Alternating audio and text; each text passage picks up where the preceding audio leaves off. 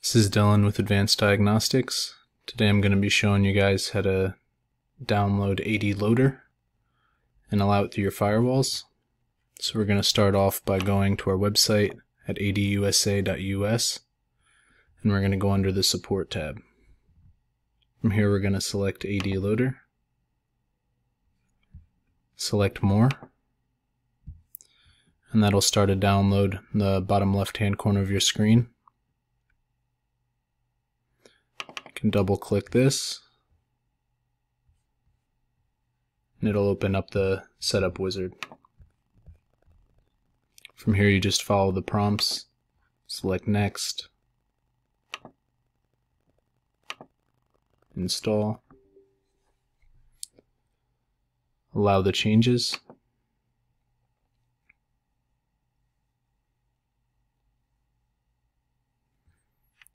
and that should give you the program. You may have to download some prerequisite software um, if it's your first time downloading it.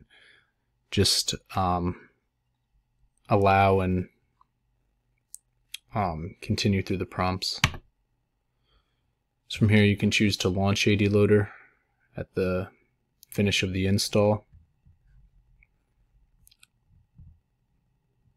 But the problem with this is that a lot of people will finish with the download and when you hook up your Smart Pro it will get stuck on retrieving device information. The reason for this is firewalls blocking communication with our server. So what we have to do, and it should be the same on Windows 7, 10, 11, should relatively be the same. We're going to go to the search bar and look for an app called Control Panel.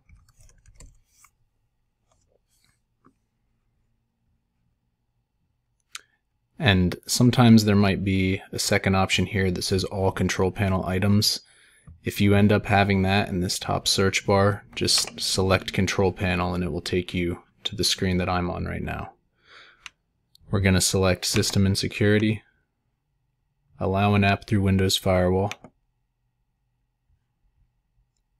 We're going to hit change settings in the top right corner and then allow another app. For the path, we're going to select Browse.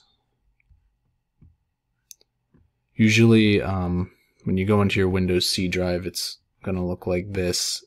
I found the best way to get where we need to be is just select a different option and then just come back to the Windows C drive.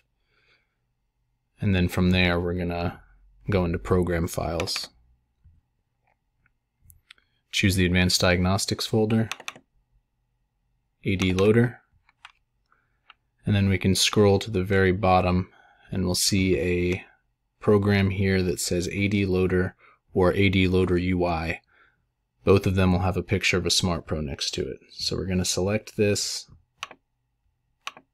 and we're going to hit open. And then you can select add. Now on the list here, we're going to find Advanced Diagnostics Loader UI in your list of apps that are allowed through the firewall. And we're going to want to make sure that we checked off private and public. And then you can finish and select OK.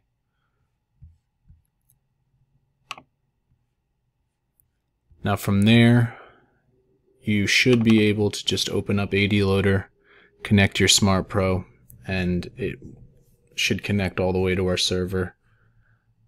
If you do have any other programs like Norton, McAfee, or any other um, aftermarket virus protection, you may have to take some more steps.